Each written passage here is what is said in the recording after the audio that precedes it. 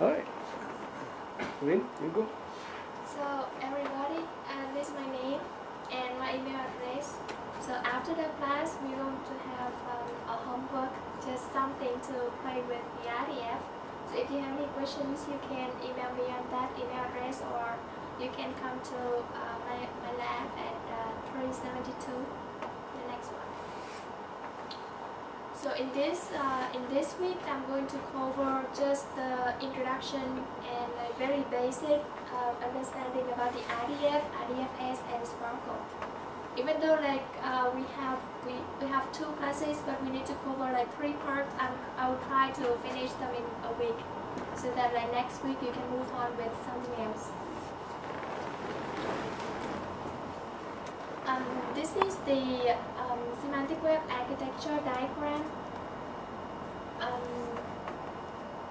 it, um, you can see that like all of the, the set of uh, technologies that are built in the layers. Uh, people also call it like uh, semantic web cake layer. I don't think it's, it's a piece of cake, but um, uh, over, I think the sem semantic web has uh, grown up in like 14, 15 years, but some of that I think they're not mature and a lot of research has been going on. And uh, this is the uh, focus of our class. We work on the RDF, the RDFS and SPARQL. So if you see from this, um, this like this uh, architecture, on the bottom is the URI and IRI. So that means like um, the foundation of the semantic web is using the the URIs as a resource um, uniform resource identifier. One example of that is the web URI, right? So when you click on any link on the web, that can be uh, seen as, um, as a URI. Um, on top of the URI, we um, the XML is it is presented there. So why it is not like uh, why the RDF is not completely over uh, the XML. The reason of that is RDF is the RDF. RDF is the data model that can allows us to uh, express the knowledge in the form of triples. This this data model is very simple as you see like along the so RDF it can be serialized into like many other forms. It doesn't have to be XML. Although it starts with XML. It start it started by I think um, they want originally they wanted to annotate the metadata of the web page, and then like uh, it has been developed like uh, uh, very much beyond that uh, metadata annotation. so since RDF provide a foundation for um, RDFS, SPARQL, and uh, and ontologies on top of that. So today we'll cover the first one. And the next class we will cover the RDFS means like RDF schema. And SPARQL means that it provides us a language so that we can query um, the RDF data in, in a very similar manner that we use uh, SQL, right? Structure, query language to query the relational database. I don't know if you are familiar with the RDBMS, but SPARQL is very much similar to that. The only difference is now we are querying the graph instead of uh, relations. So, um, we will, we will start with the, um, uh, so any of you having, has any of you worked with the the web application development or or or like just say semantic web? Like ha have you came over like any uh, any um, application like data set that comes with RDF? No? So this is your first time? Right. He's not. so uh, today I um, I hope that I can finish these all of the slide about the RDF and then like there will be one homework so that we um, like you can like uh, practice working on some exercise to get used to with what RDF is, how to create the RDF triples and then in the next class we will be able to write a SPARQL queries and um, to learn about the RDF schema to put the constraints on the RDF triples. So, RD, so what is RDF? RDF stands for a Resource Description Framework. So basically, it, it, it is a framework that describes describe resources, right? Like simply like that. So what is the resource here? It can be anything. It can be like um, it can be the chair in the room, or it can be um, it can be like your laptop, or like anything, any physical or even abstract entities that can be described with the um, with the RDF. So you can describe that by uh, giving it um, a URI just to assign it by assigning the, the URI or identifier to a thing you can refer to that and describe that by associating associating that resource with the RDF triples. So when we start with when they started with the RDF, these are the these are the goals that they were trying to achieve. I think that is very um, ambitious. So what they want to have is a very simple data model.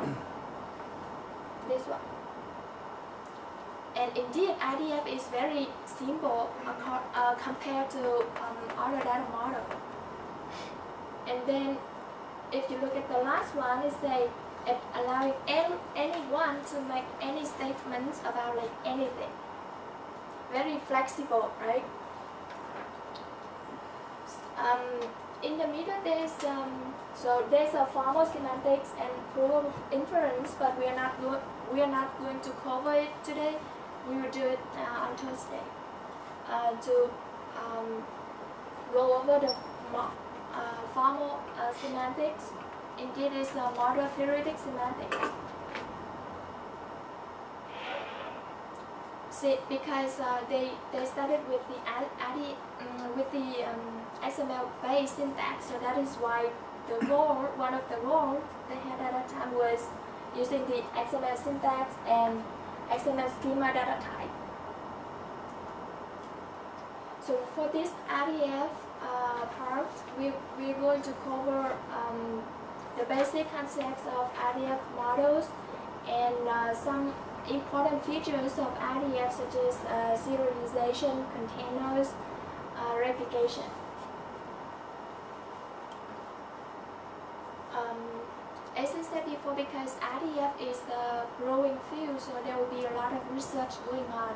Some of that are not really mature, and we can see uh, we can see some uh, problem in the models of the RDF, but that doesn't stop the RDF becoming um, widely adopted by the community.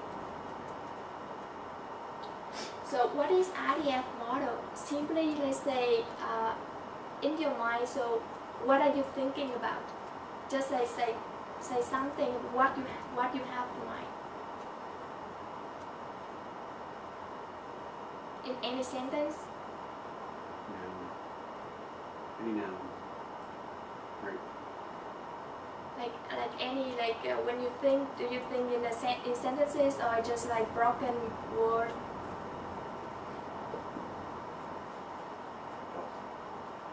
You just say like like you're not thinking at all? She is teaching a class. Okay, she is teaching a class. So that is a sentence, right? Simply it is in the natural language. We can transform that one and we can express that sentence in the RDF triples. Simply say like uh, the subject and the subject, predicate, and the object. So in the sentence, the subject of the sentence is going to be the subject of the triple. And the verb of that will be mapped to the predicate. The object will be mapped to like the the object. so they are like quite similar, right? So let's say uh, I thought of like two triples, two sentences that are related to our class. That is like Web 3.0 is taught by Amit even though he's sitting there.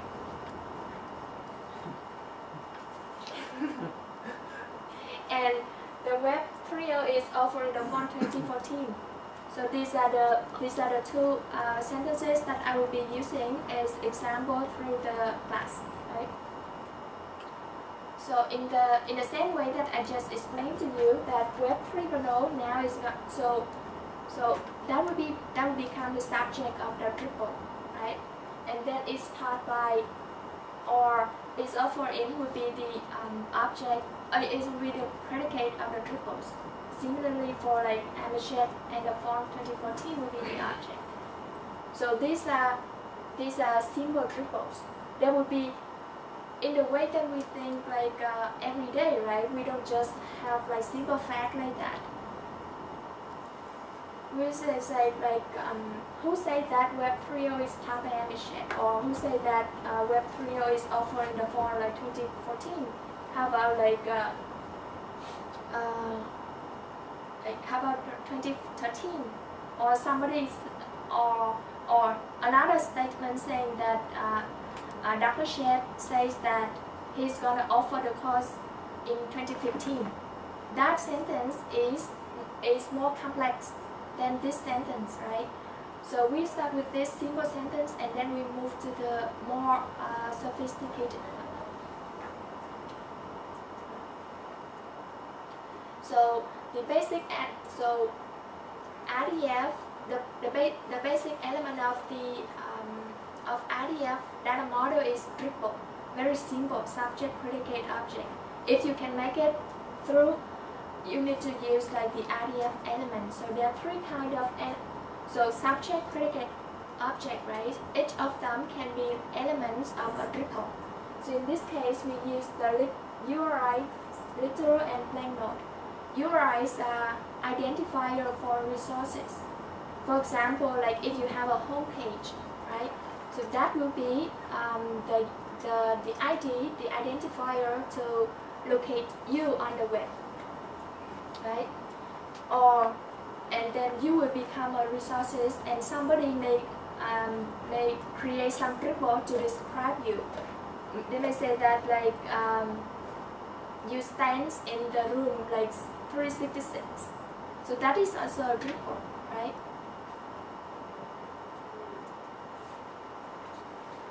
So given given the example that we had before, like uh, here I created some of the uh, URIs, such as like um, we start with a prefix saying that knoesis that right that edu and slash courses slash web 3 web 3.0.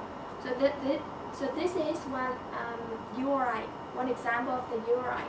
Similarly, you can create um, you can create other uh, URIs like Amit Sheth is by uh, is offering.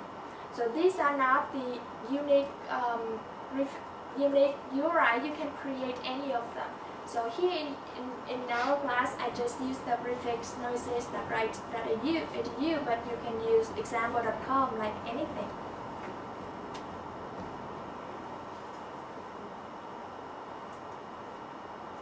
So this is uh, the syntax of the URI. The one, um, the, so let's say if you locate a web page on the internet, right? So that is the URI, URL, uh, resource, um, u, u, unique resource locator, right? So, but the URI, URI is more, um, is more uh, generalized in the ways that let's say if you look at the syntax of the URI, it starts with a scheme here. This, so usually when we are browsing the web, we are using HTTP protocol. There are some other pro some other protocol too, right? Some sometimes you will see like a mailto, and then like a colon and email address, or FTP or uh, SSH. There are many protocols like that, and that will fall into the scheme and the next one of that is like a colon and then slash slash. Authority is like the you need to provide the user info, maybe the username and the password, and the host and the port. The um, the uh, question mark query and then uh, pass fragment. So those are So if you if you uh, develop the uh, web application, right, you will know that the question mark is for like variable. You say that uh, the query, and then you say let's say some variable and some value if you need to. So that is optional.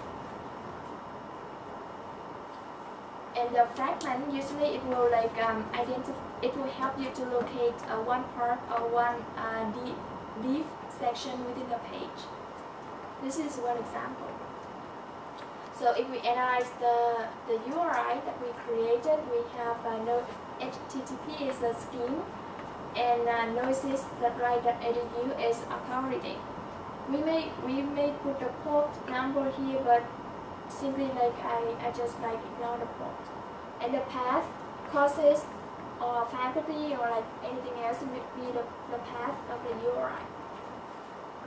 And you see the lecture, lecture and the RDF, I just put it like uh, for example. That is for the query and the fragment. So the first element of the RDF is uh, the URI for the resources. So the second the second type elements of that is the literal. So let so we need to use the literal or type literal when we need to uh, represent the attribute or the property of a resource. I do want to say that the that um, the year 2014 on the form. So a literal usually like we it has two parts. One is the one is the lexical form and the other one is the data type. So this is one example, like some example of the um, uh, lexical form. So these are these are these literal term. One of them is called uh, literal term. Each of them will be mapped into a literal value in the RDF interpreter. Later on, like we will through it next. So here, because we started with the XML, so they decided to use the XML data type. It will include like the date, the number, and uh, a lot of them are different here. So when you when you query, let's say um, if you put the number in the in the relational database, right? When you see the when you see the numbers like 2014 or like 0 2014, so how do you compare the two uh, uh, literal term here? So how do you know that they are uh, they, they share the same value or are they actually same? So if you if you look at this, right, uh, 2014 uh, of the type G, uh, year and 24 0 2014 XSD year, do you think that they are same or different? Same. Yes.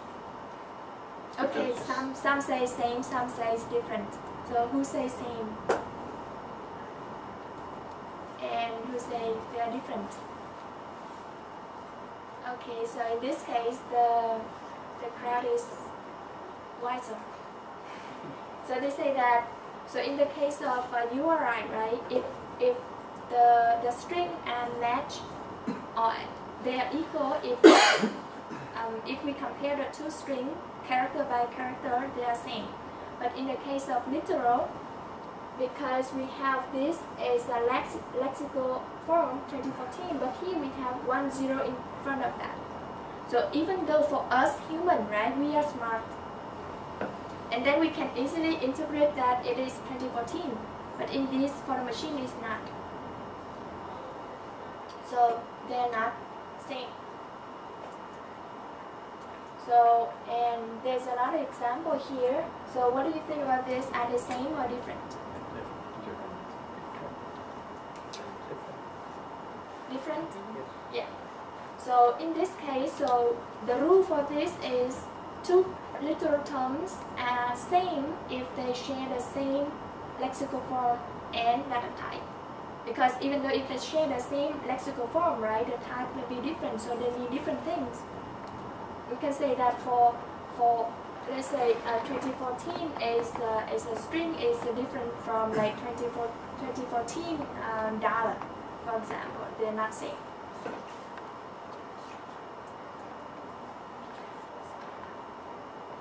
So the third, the third elements of um, this, the third type of RDF elements are blank node. So, so let's say you meet somebody on the like in the hall and you don't know that person, right? So you don't know like how to refer to that person, but you still can say that that person is wearing um, a blue shirt. You can express, can you express that kind of information in RDF or like in, in any form when you don't know who, it, who, who they are?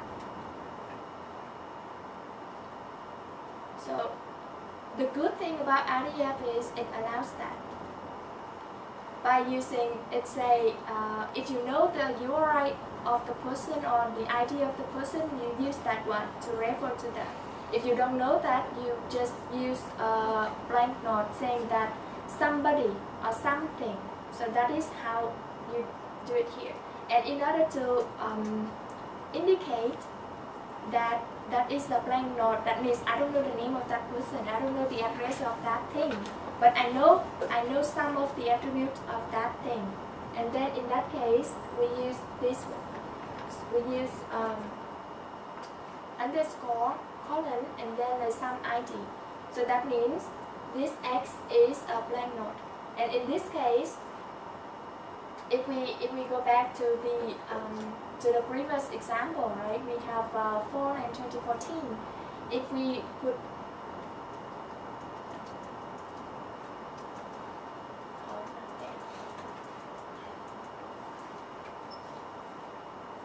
So in this case, for 2014, are um, it consists of two tokens: fall, is semester, and then like um, 2014 for years. If we put both of them into the same code, as a, it's a, it's a string, and then we cannot uh, we cannot express the relationship between the, the subject and the fall and subject and the um, and the year 2014, right? So in order to express that um, relationship, we use the uh, blank node, and then we say there's something that that his semester for in the his uh, semester in the fall, and then his in years 2014. So that means that x that that thing right x at his semester uh, at uh, at his uh, fall semester and of the year 2014. I will go through this again like, later on. So now we know that uh, RDF model consists of RDF triples. And in the RDF triples, each of that subject, predicate, object, it must, um, the type of that must be either URI, literal, or um, a blank node. So there are certain rules that we need to follow in order to create the RDF triple so that people will be able to interpret the meaning of what of our triples. So the rules is like uh, for the subject, it can be URIs or blank node. The subject cannot be literal. So remember that. And the second rule is the predicate is always a URI. And the third one is the object, it can be anything. Why? Sorry, Why? What's the reason? Why predicate should not be? Is there any reason? it just state the rule. Because like, um, can it be, um, for the predicate, it cannot be a literal. Because like, uh, if it is a literal, then you don't know like, it, the, the, the, the predicate use, usually uh, specify the, the properties or the attribute or the relationship of that um, between that resource with other resources, right? Um,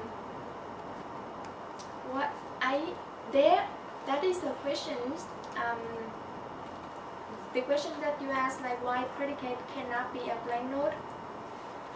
Actually, this is. It can be. it can be uh, blank node either. But but this is this is still this is not um, this is not entirely clear to us because we created the rule for the community, right? But because the I think that there was another there was a paper on that to say if we use the blank node in the um, predicate, um, the uh, complexity of that will reduce from NP to P. Oh no no, it was in NP complete. I forgot about that paper, but there was one one advantage of uh, that was one advantage of using the plain note in the predicate. But but in the um, in the specification they just say no. And because this is just for the syntax of that.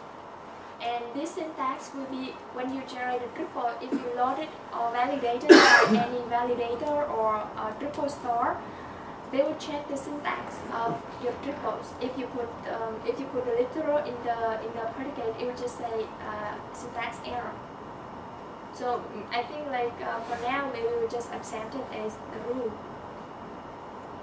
So these are some examples that we, we, we had before. So um, do you still remember which one is URI and which one is blank node and which one is literal?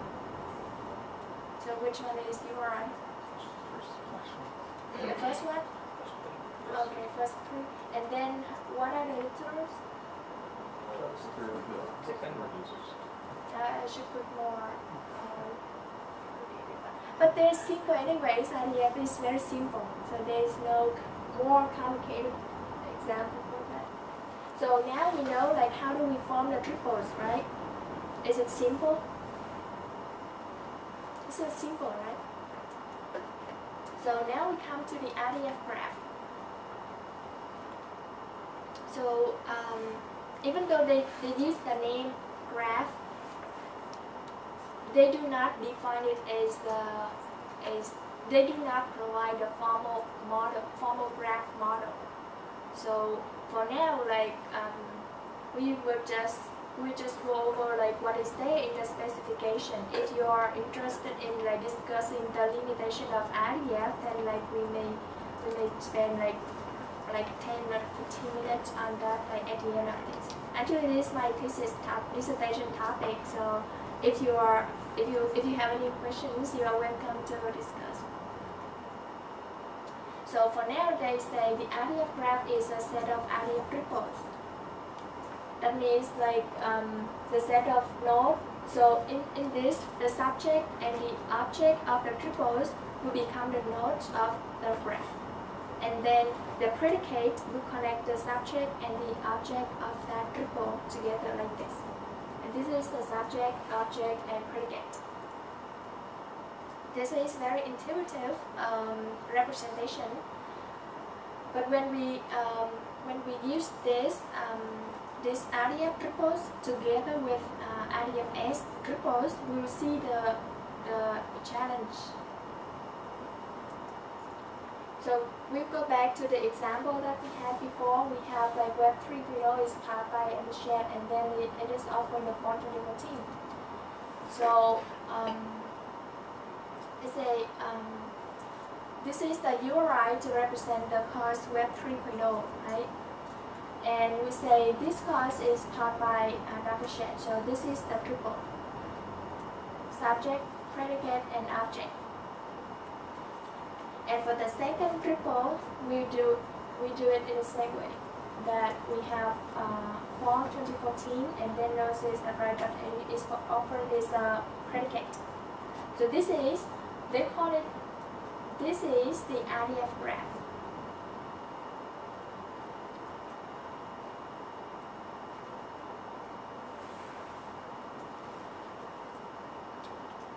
So I was explain I was explaining the why uh, fall 2014 is problematic there, right? When you just say fall 2014, it is a string. It doesn't know the year of that.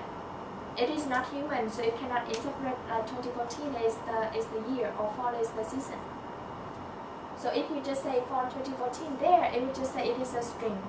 That means there is no relationship asserted between the Web 3.0 and then for nor um, 2014 separately. So in order to encode that relationship into RDF triples, we use the blank node here. So let's say we have this is the web triple is the subject, and then we use the blank node saying something, and we say that this course is offering like a something, and then this thing, his semester for 2014 and um, his year his semester 4 and then his year 2014. So by this we split the tokens of for 2014 into like two different entities. So in this case we have like four. I think if we can if we can create um, a data type for that say seasons and then we know that seasons or semester then we know the type of that. And at the same time we also know like uh, this is the year. This is how this is if we if human read the sentence they will un- understand that easily.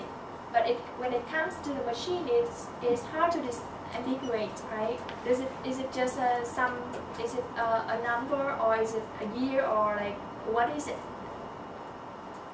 So this is the way we use the blank node to create the one one extra entity in between the 4 and 2014 so do you have any questions about the blank node So what do you call that one? Uh, this like, uh, is it a predicate?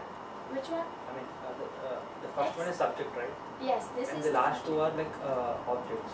So here we have three uh, triples, right? Okay. So in the first triple, we have this uh, web uh, 3.0 is the subject, Subject. And then its offering is the uh, Predicate. predicate, and then this blank node is the object of it.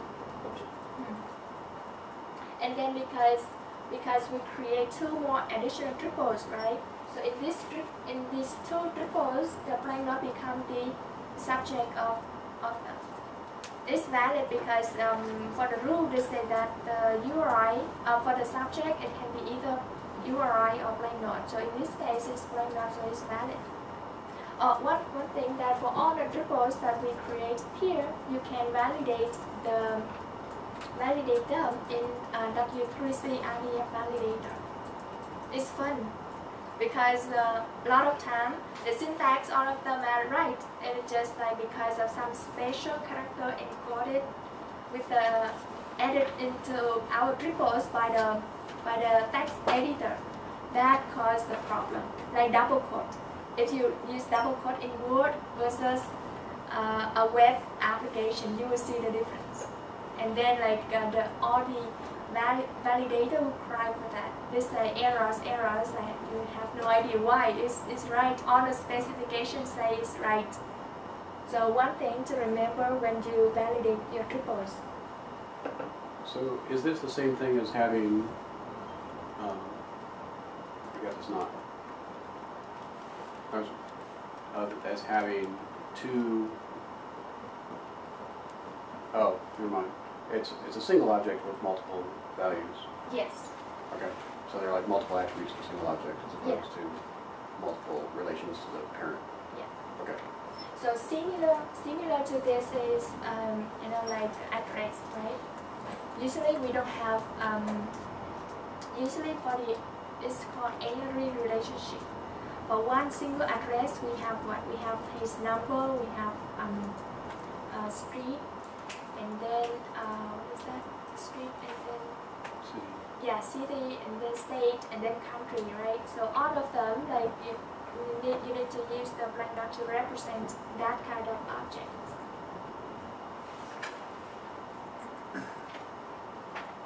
So no more questions about the blank node.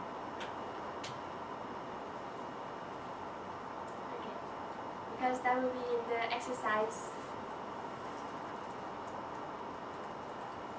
So um, so we just cover the um, the data model of the RDF, right? This is just the the abstract uh, model. So the um, the model theoretic semantics will come later on with on the formalism. So in the first class, I just want to go with the with the simple idea so that we can grab it and then move to the next one.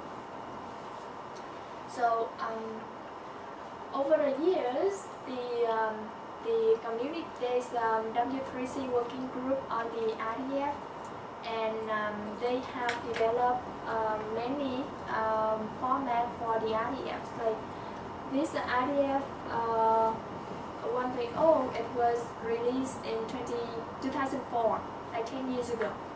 So at that time, they support uh, officially support the RDF XML and uh, and triples. Turtle was available at that time, but it wasn't uh, recommended. So this RDF 1.1, that means um, it was released earlier this year in February. So in that, they support. You can see that they they have supported uh, many formats like um, RDFa, Turtle, and JSON, TriG, and Quest. Actually, there are more, but they're not officially uh, supported by W3C. W3C is the World Wide Web Consortium behind the web. So, um, the three, oh sorry, the three, the three uh, formats on the right, it involves the graph. That means instead of triples, they want to add one more component, and the fourth component into that, and they call it like name graph.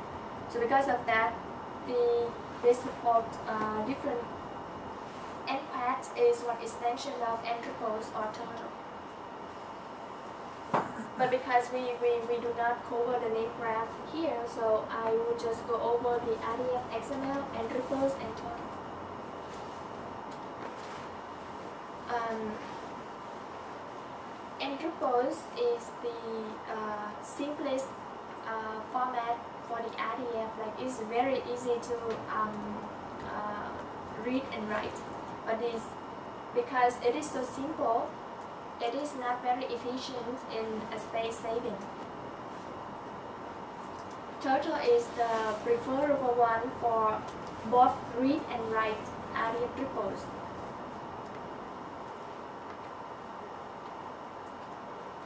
So let's start with the RDF with the N-Triples format. So usually in one RDF dataset, you, you do you know how many triples? What is the average size of one RDF dataset? Like small, medium, and large, and very large. It gets large or very large. So the you know Not can you. Huh? Not comfortable. Not human, not human. You mean like infinite? yeah, I think I think like for the knowledge that human has is infinite, but in the idea form you have to release it and store it somewhere, right? Some somewhere, and that's why like it it can't be like infinite. So this. I have been working with uh, many RDF dataset and most of the time I created them by transforming the data from like different data models into RDF. And the smallest one I've been working with was um, was from uh, one project, and the size of that is around 11 million triples. And then I um, I work with another data set from my internship, and it, you know, like for for I was I, I was scared. We would say like 10 million, this is a lot, right? You can just read them for sure. You can just read all of them. And then I, I work with another data set, say 100 million. So for for for 10 millions, it may be just like a few hundred uh, megabytes if you put them in text. But when you work with uh, with a hundred million triples, that means like 20 gigabyte of text. And um, the one that I'm working with, it has uh, 15 billion triples. When you uh, when you put them in uh, RDF XML and you zip them, it's 100 gigabyte. And after you unzip, uh, I, I, I haven't finished that part, but it already exists uh, 1.2 terabyte because I just have like 500 gigabyte remain, so I cannot extract the, the rest of them, but it's more than 2, 2 terabyte.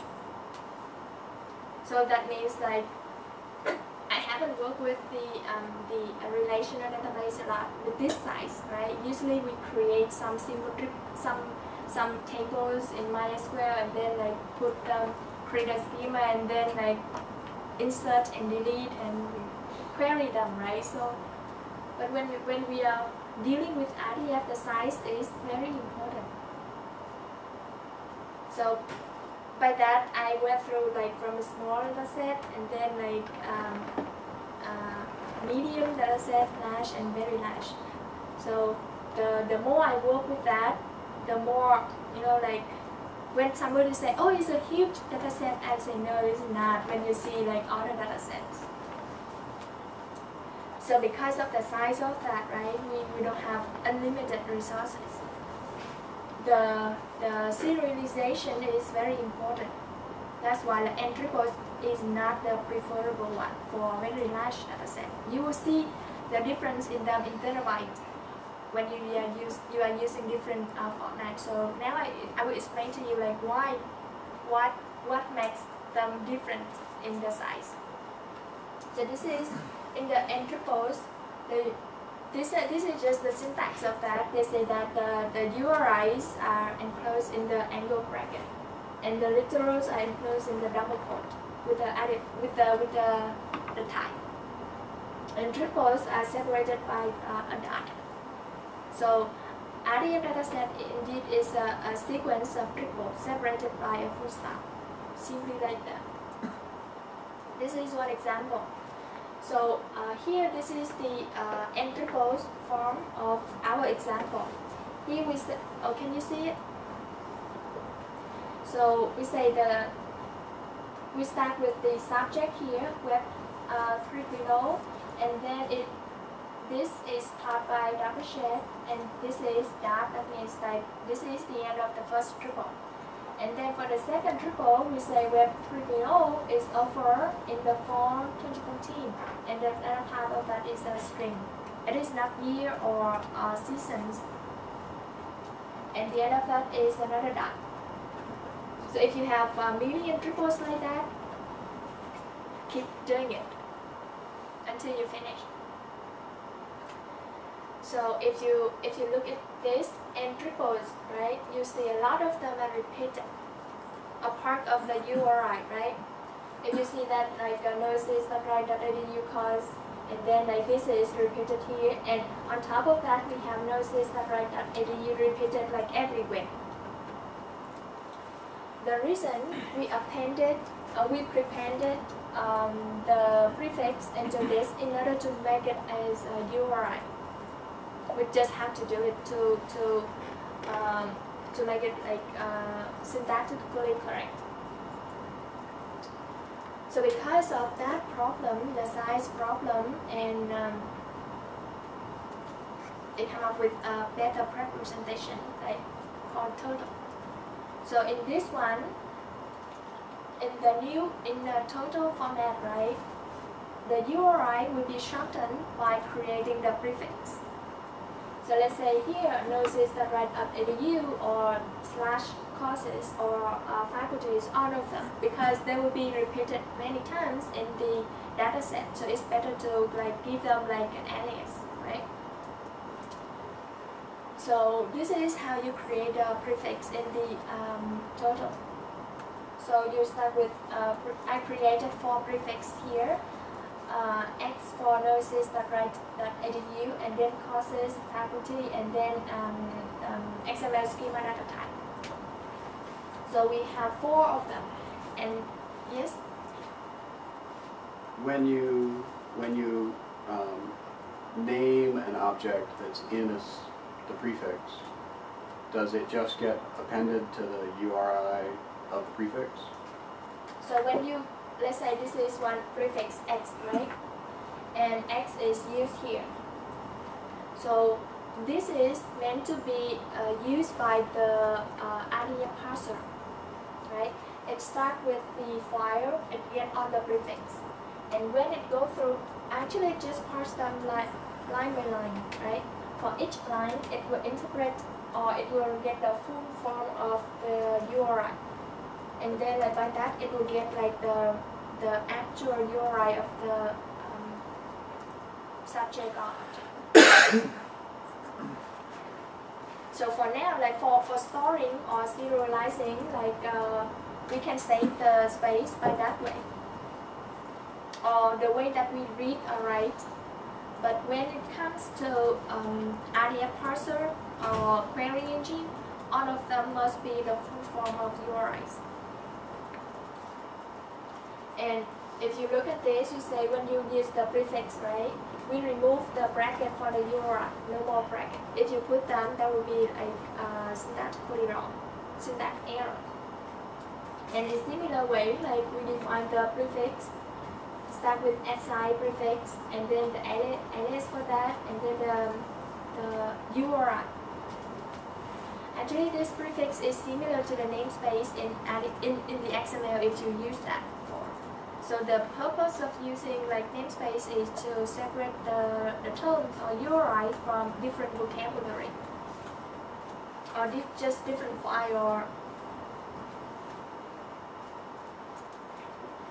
so the so a lot of time you encounter the situation where you create multiple triples, right? Just for describing one resource.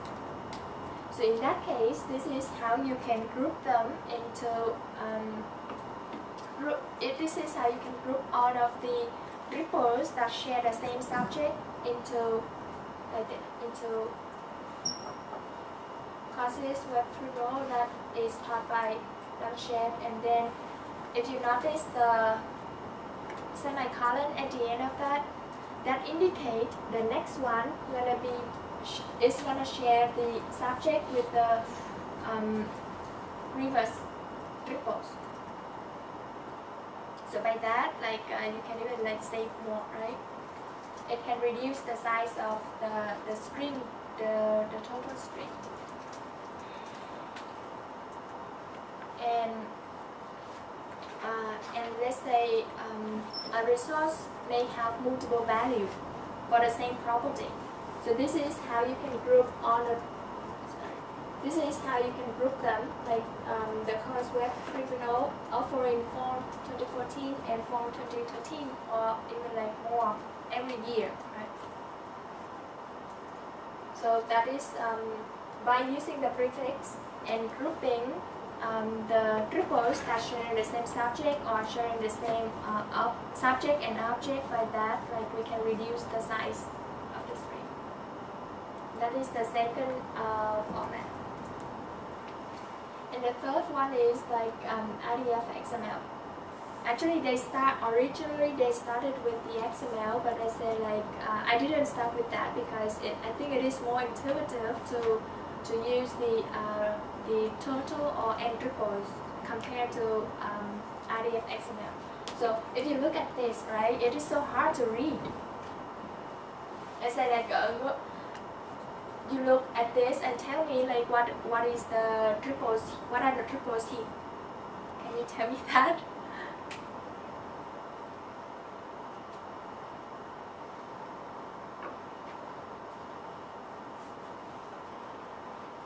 It starts weird way. The bout is the subject. It's art, that's the reason of it does. So this is the sub. So one example of that is uh, this is the subject. So let me let me explain to you this RDF document. So um, when the document starts with uh, XML, which more XML, you know that is XML, right? But it starts with RDF colon RDF. That means this is one RDF document, and these are the namespaces to be used within this document. So they use the namespace RDF and I use I added one x4 knoesis.wright.edu, right? So these are the namespace to be used within the um, the within this document. So that means in between this opening tag and closing tag. Not like um, not any outside of these uh, two tags. So you see that X is used and X is taught by or is over right? So by that we can read it, we can shorten the URI of the uh, property. So within the RDF document, you see RDF description. That means like uh, from here it will start uh, creating or adding the, the sub-construct for this uh, course Web triple. And this gonna be the subject of the triples.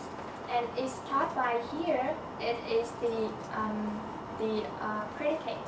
And the value of that, the, the attribute attribute resource indicate that is the object of the triple. So this is the subject, this is the predicate, and this is the object. So if you look at this RDF XML versus Turtle, right, which one is more intuitive? Yeah, Turtle, right? So because of that, I will give you a live demo of converter. So even though they support a lot of like uh, uh, format, but we just need to, we don't need to know all of them because that is just for the syntax of that.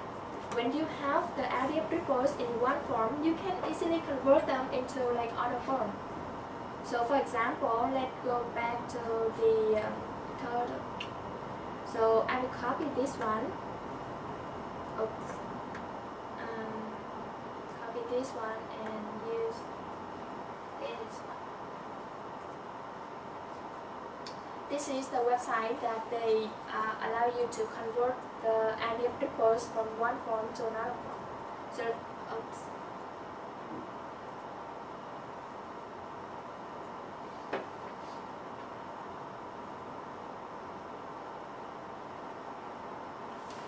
You can see that this is the input format. Like it can be like um, triples Turtle rdf xml and uh, there's some other like json but we're not talking about here. You can also output them into uh, triples rdf xml uh, Turtle any of them. So let's say uh, they can also guess, but they cannot guess n triples. I tried that and this says just can recognize. But this is a nice website. I don't know who built this, but uh, I think it will be useful for us. Programmatically, you don't need to use this. There, if you are using um, C for programming, you can use a tool called Rap, uh, Redland. It will convert the data from one format to Raptor. The right name of that is Raptor you give it RDF5 in like any format, it will convert to the other format. So I think that's not a big deal, right? Syntactically, it's easy. So let's say here we use uh, Turtle, and then like which format you want to generate. Yeah, like XML, right? Because I, uh, this is the XML format of the triples that we created.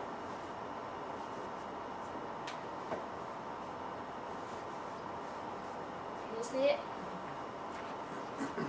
So I noticed that it didn't use prefixes in the data type. They use the prefix here, but they because I use X because I want to make it more readable to me. But in this case, they just use number. You know, namespace zero, namespace one, namespace two. So this is namespace uh, zero instead of X, right? And then here they have like uh, they have. This is uh, Web 3.0 is taught by Dr. Sheth and is offered in Form 2014 and this is the data type XML XML schema string. Right, and you can't, so you can't use prefixes in the data type string, Mm, if we Like- can use, yeah, we can use that, so we could do something like XSD colon string. and you can use that. Okay. But um, before you do anything, just go and validate the the syntax of the triples, right? So this is the uh, and we can also generate um, what is it? Um, n triple. So when we have triples, now we get the full form of the URIs. A subject, predicate, and object, dot subject, predicate, and object. And the last one is um, Let me see it do a graph. Oh, it doesn't generate anything. Okay, I can try that. A PNG. I thought it's so smart. great tool. And then I submit and I see the things that it's like this. a little bit disappointed, but uh, it's okay because it all the functions work. I It don't I bet, I bet Yeah. that would work if you actually saved it with the right data type. I bet it's coming Yeah. back with a text data type. Yeah. Yes, Yeah. yes, yes, yes, yes. That's funny. Yeah, but there there are tools that um, for this I think it's simple. You just like query the right URI and then I put them into the graph form. Important is like how like which which tool that we use to visualize the graph. Okay. So this is the converter.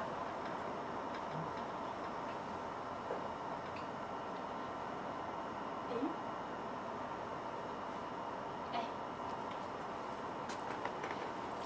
So given this, right, I think your um, the exercise will be much easier because like you just put them into this validate and then run.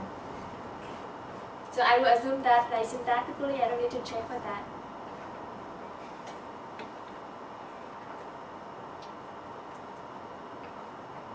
So back to another feature of RDF. So when we program, when we do programming, right? Usually we have in mind like uh, before we start coding, we need to think like what kind of uh, data structure that we need to use for for list, like whether we use linked list or map or hash map or like what kind of data structure we need here.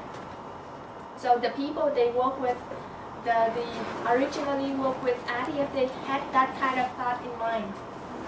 That is that like how do we store a list of resources or like item or uh, just um, terms.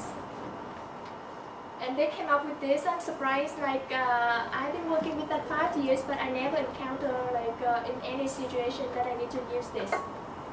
But still, it's useful to know that they have this feature supported.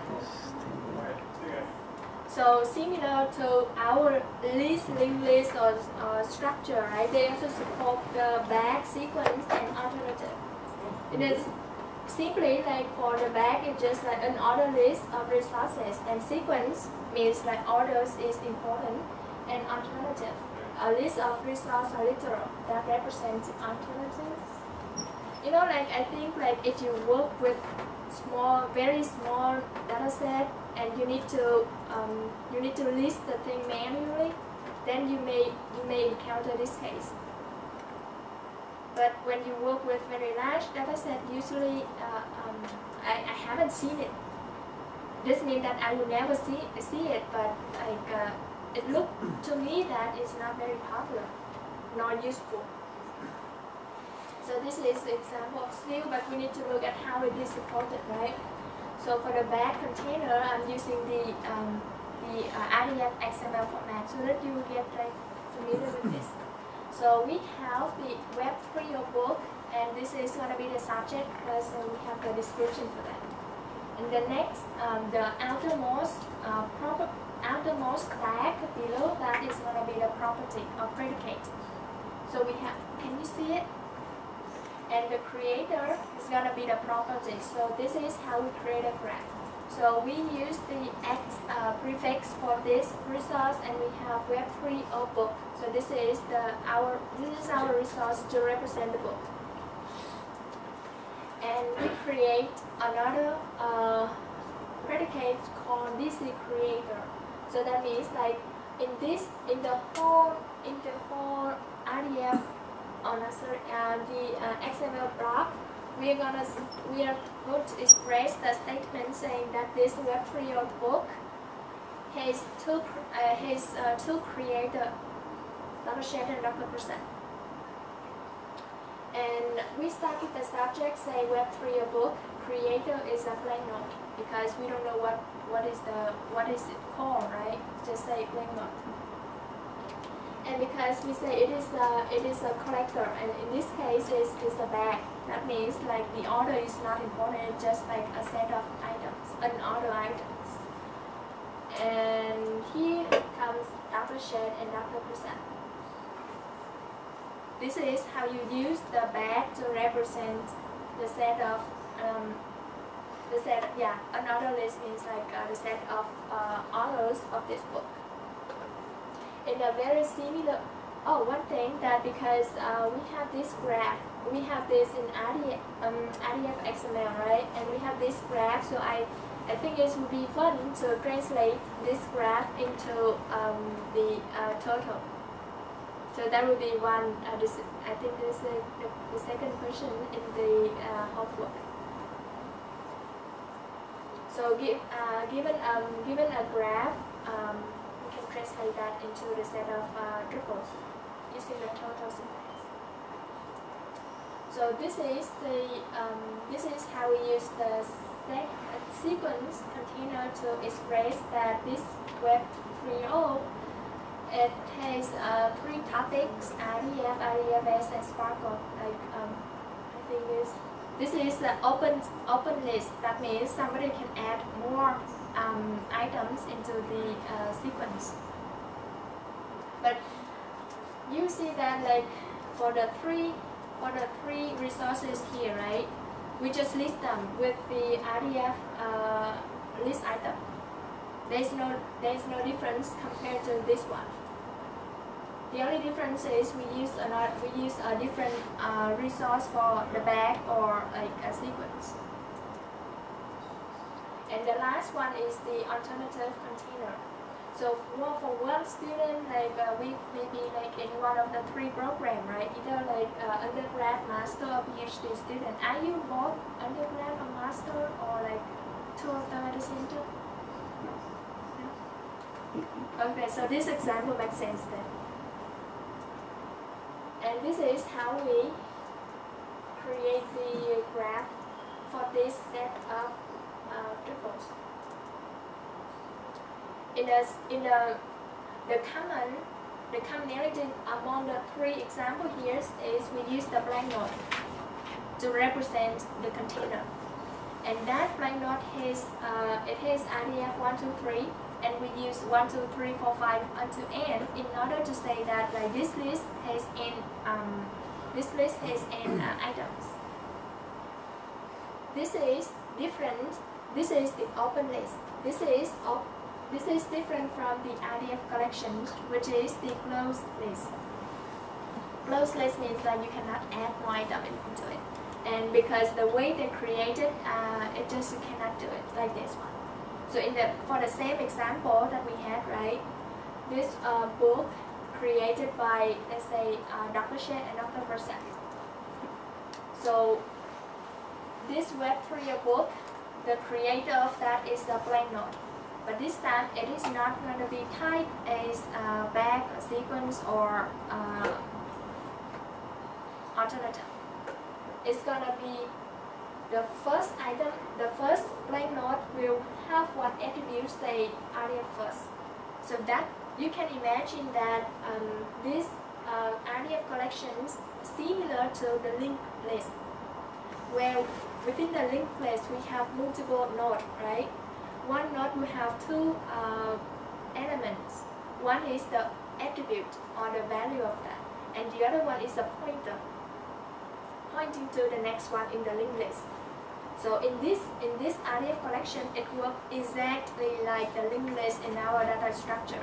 In that we have like the this the blank node is the first node, and this the value of this blank node is data set, and then like it points to the rest.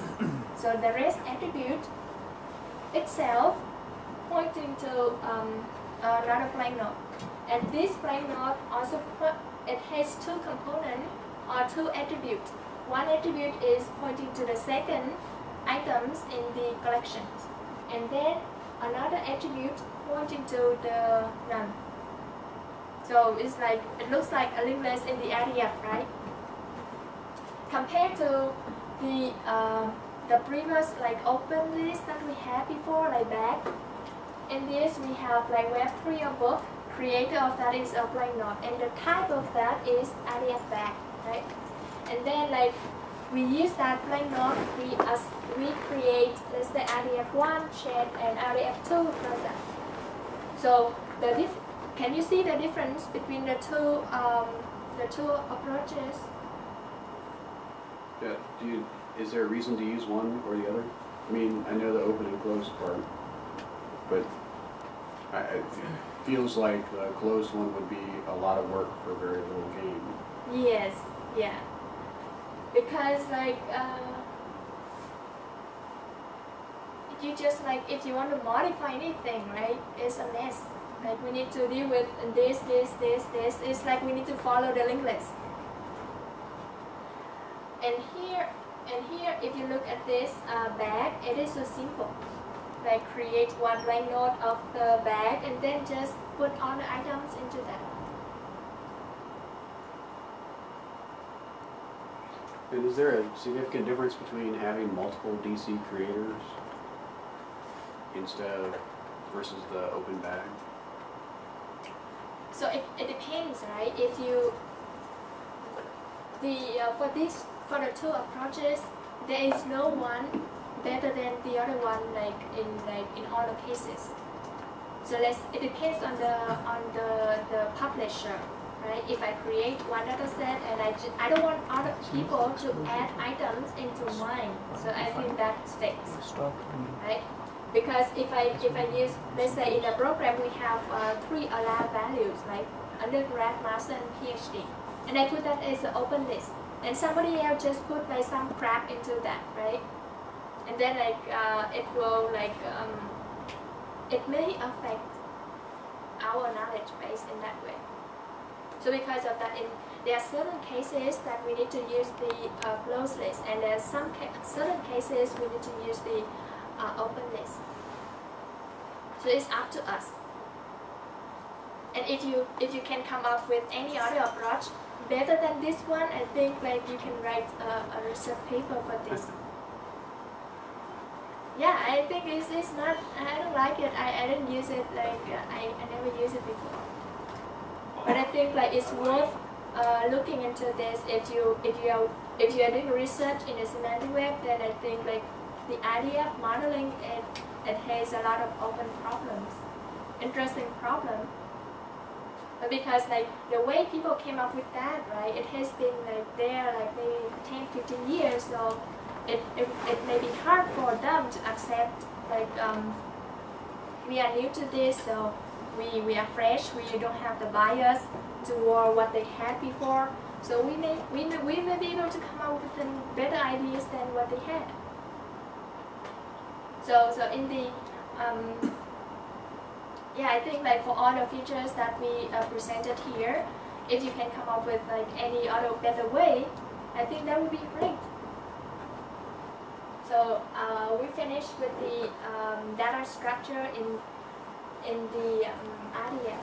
One point that I noticed is that usually we use data structure for for um, populating the data, right?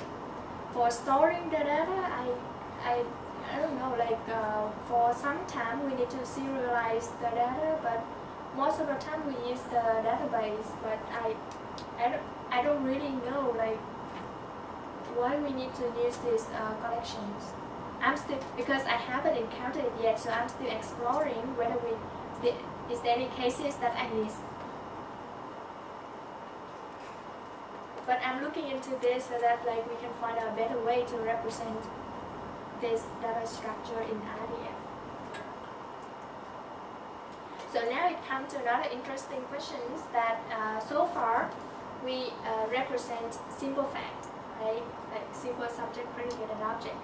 But there are cases, and most of the time in our life, right? There is no absolute, there is no statement that is absolutely right.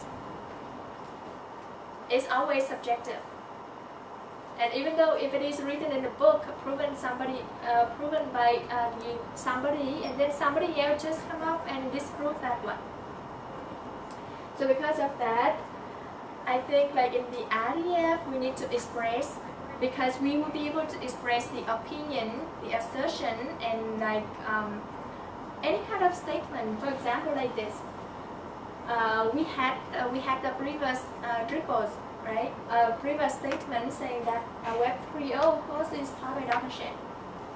And then now, if we want to express the knowledge that um, Wright State announced that Web 3.0 is taught by Dr. Sheth. So how do we represent it in RDF?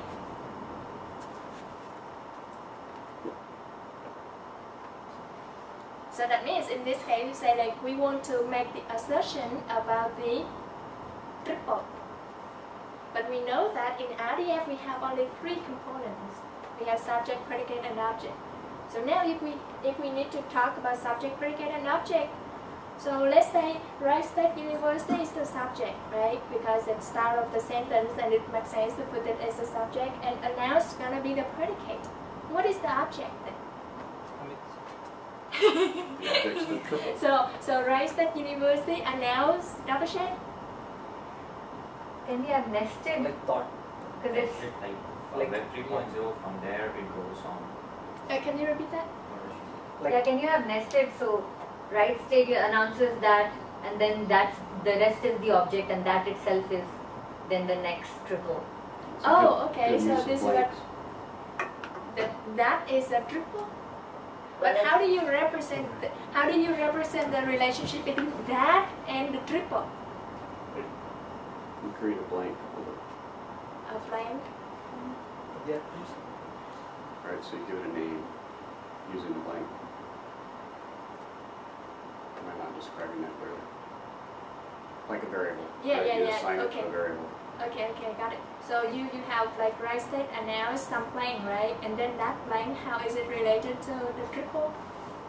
It- It is the, it represents the triple, right? So you define the blank as the triple. How do you I read ahead, so. so okay. That means reification. Ah, This is called reification. Like you reify a statement as if it is the resource. And then you um, make the assertion using that resource. So for if somebody says that like Rice University announced announced that Web 3.0 course is taught by Professor Nishan, right? So in this case, what it is not what we want because what we really want to say is State announced that Web 3.0 course is taught by Dr. Sheth. We want to maintain that relationship between the Web 3.0 course and Dr. Sheth. And now we just want to add the, the assertion saying that Wright State announced that. It is not been announced that, right? Because and announced that is so much different from I announced that. So this is not what we want. So the next one is the um, the one feature by uh, the RDF recommendation. It say that we so here we say that Wright State announce some statement, right? This is statement one. I just like it is a blank node, so I just put a 90 so that we can recognize it. And then for that statement, in order to in order to create a relationship between that statement to the real statement that we want to express, they, they provide a mechanism for reification means like this statement one is a statement, right? And then it has subject, cause, web 3.0, and then predicate is taught by, and then object, action. So the whole block like this is called. Reification means like we reify a statement as if it is a resource and we treat it as a resource. So by that we can create like uh, any um, any other assertion, right? So the whole block is this. It contains four triples. But uh, when I start with this, I didn't like it, so I was trying to find another way to represent statement about statement in a better way. So the the motivation is very simple that I'm dealing with billion triples, right? If I have one billion triple and then I need to reify one like all of them, that means just for the reification, not not counting the, the assertions that I want to make. I need four billion triples. So it's like if I if I have like if I have one terabyte of data, I need four billion of four terabyte of data just for the reification. So it's not worth. So because of that, like uh, we find um, this is the motivation, and I was trying to find the alternative approach in order to overcome this uh, reification. So I call it a singleton property. So, so the way that I verify the uh, triple is not from the statement saying RDF statement and subject and predicate and object. The way I verify it is I say um, I still say uh, Wright State announce something right? And then but this thing is not uh, instance is not a statement anymore. It is a singleton property. So for this property uh, for this property I use it instead of if you look at the, the original triples you see that uh, web 3.0 is taught by.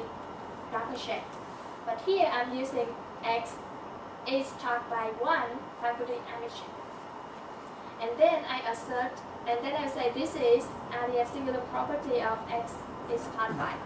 So the original triple is cos web 3.0 taught by datasheet. But I just tweak it a little bit and make it make it uh, two triple make it in two triples instead of four triples. So basically, the, the, the, the basic idea of this is like every relationship is unique, right? The, let's say, let's say um, your homepage and then the, the Web3 course, your relationship with the course will be like very much different, like among of you, right? Some of you like uh, know a little bit about this, uh, some topic or um, or you register, just simply you register like not on the same date. So in order to capture the, the difference, different attribute, this different uh, relationship between the resources, right? In this case, let's say uh, the courses Web 3.0, it may, it may be taught by uh, another professor, or it may be taught by him, but like in another year. So that relationship become like different. All we say is a context. When the context, context change, the attribute of that need to be changed accordingly. So that's why like we use uh, this approach. But so, So- that So is a query that, that says find all of the is taught by by Amit Sheth, is that gonna return this course's Web oh? 3.0? yeah. So so there, there is one more thing that we need to do. That is we need to perform the the reasoning on top of that. Uh, there are two type of reasoning like forward and backward. But uh, we we um, I think we will cover that reasoning part in the next class. But basically, what I'm I was saying was like this single property is is a singleton property of this. In the meantime, it is also a sub-property of the original property. So I will infer the original triple, this subject, predicate, object from the from the set of triples that I have. That is why I can return the original like um, query. Yes. There are two persons like uh, taught by uh, Dr. Sheth and some Mhm. other like Prasad. So how the answer would be? In that case, I will create instead of one, I will create one or one more triple saying that uh, Wright State announce uh, is taught by two, right? And then I use is taught by two between like course web 3.0 and then like and then Dr. Prasad. So you can you can make it as many as you want. So that is the um, that is not there in the um, RDF, RDF specification. This is just my paper and I think it's relevant, so I just present it here. And uh, next, uh, I mentioned some of the tools that we uh, I use in my in my work. Right, these are some. I just mentioned some of them, like just like representative, but like you can find a lot of other tools like this. Like you can transform it from like different data models into the RDF. Uh, Jena is the API for you to work with um, RDF in Java. very popular. And um, I don't think we have more time, but I'm trying to finish in five minutes. So um, RDF in the real world, um, the for all the all the database uh, vendor that uh, we found in the industry, I think like all of them are major database like uh, Oracle DB2 or Oracle DB2 is from IBM. All of them are supporting um, RDF. And uh, for the SPARQL endpoint that we are going to use, we will use the virtuoso. I will set it up online so that you can um, insert your triples and then query them. I think we can skip this uh, link of link data principle. I think let's start later on. Anyway, I mean, uh, link data principle is important, but uh, we can skip now and then come back if you know at the very end. Okay. Um, so for the if you find it, uh, maybe just two minutes to have a homework.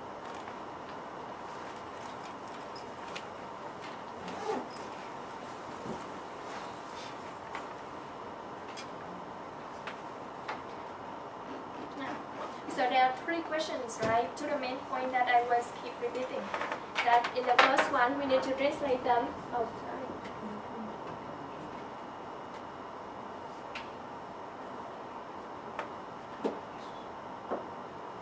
So the first one is just translated into adding triples.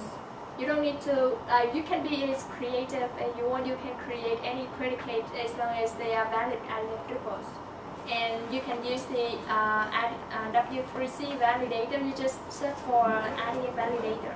Then you can validate the triples that you create, right? So this is for the, the first part, and for the the second part is um, as I said before, like uh, given the, the the graph like this, um, um, you need to translate them into RDF triples in the form of Turtle. Turtle is the easiest one. For some of them are um, related to RDFS, so I just want to get you uh, used to with this so that we can get into the RDFS later on easier. For now, you just see the syntax of that, but you don't know the semantics of that, right? But it, it, will, it will come easier when you see the syntax and then you get the semantics. And then the last part is like uh, I give you the um, the uh, valid um, Turtle, and then you draw the graph out of it. So simple, right? Okay, so I'll see you next time. So, so, uh, I, um, let's see. So the, the view of this is on the before the next class starts, so that I, I want to make sure that you you all practice the RDF before we move to the RDFS and SPARQL. So I'll see you next time. I think uh, they have all class pages that uh, we need to put it uh,